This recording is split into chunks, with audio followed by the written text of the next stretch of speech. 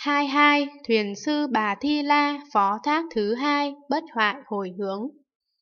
Bấy giờ thiện tài đồng tử đi về hướng thành lầu các, quán sát đường xá, đó là quán đường cao thấp, quán đường hẹp hiểm, quán đường sạch dơ, quán đường cong thẳng.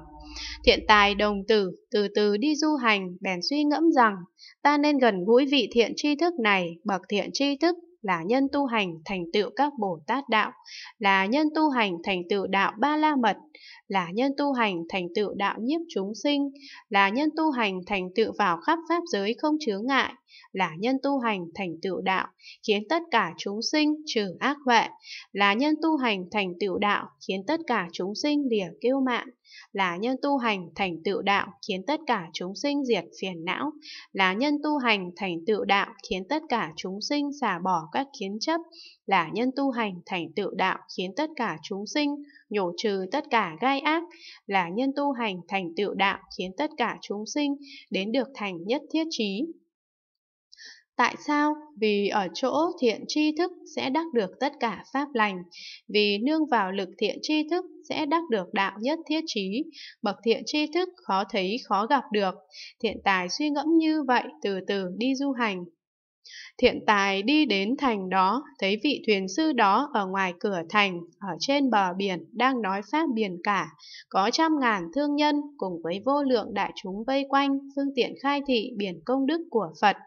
Thiện tài thấy rồi, bèn đi đến đảnh lễ vị thuyền sư bà Thi La, đi nhiễu quanh vô lượng vòng, rồi đứng ở trước chắp tay mà bạch rằng, Đức Thánh, con trước đã phát tâm A Nậu Đa La Tam Miệu Tam Bồ Đề, mà chưa biết Bồ Tát làm thế nào học Bồ Tát hạnh, làm thế nào tu Bồ Tát đạo. Con nghe Đức Thánh khéo chỉ dạy, xin hãy vì con mà nói. Thuyền sư bà Thi La nói rằng, lành thay, lành thay, thiện nam tử, người đã có thể phát tâm A Nậu Đa La Tam Miệu Tam Bồ Đề, nay lại có thể hỏi nhân sinh đại trí huệ,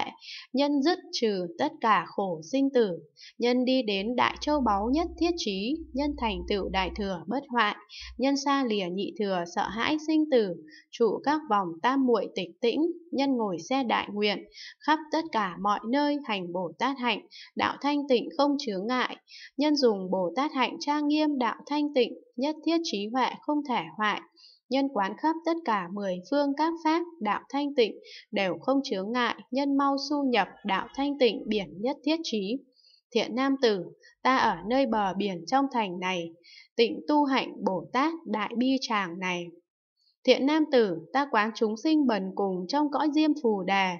vì lợi ích cho họ mà tu các khổ hạnh tùy sở nguyện của họ đều khiến cho họ được đầy đủ.